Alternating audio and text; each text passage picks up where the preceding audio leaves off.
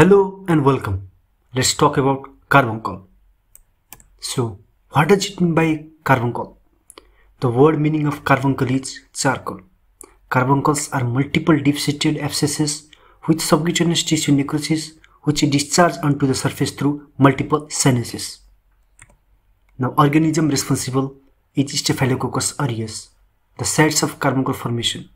These are nape of the neck, which is the commonest site, upper part of the back, shoulder, cheek, hand and forearm. Susceptible groups.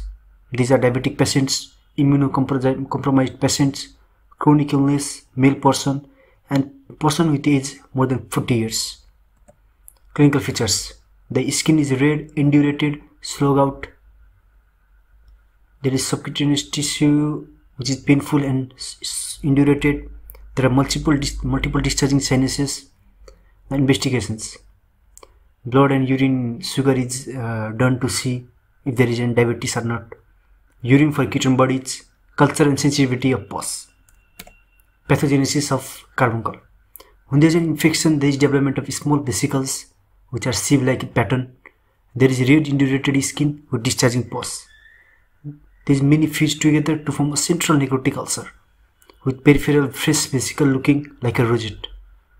The skin becomes black due to blockage of cutaneous vessels and then the disease spreads to adjacent skin rapidly. Patient is toxic and in diabetics they are ketotoxic, ketoto ketotoic. Treatment. The treatment first is the control of diabetes mellitus. Antibiotics can be given to control infection, usually cloxacillin or flucloxacillin. Incision and drainage of the pus by cruciate incision and excision of all dead tissue.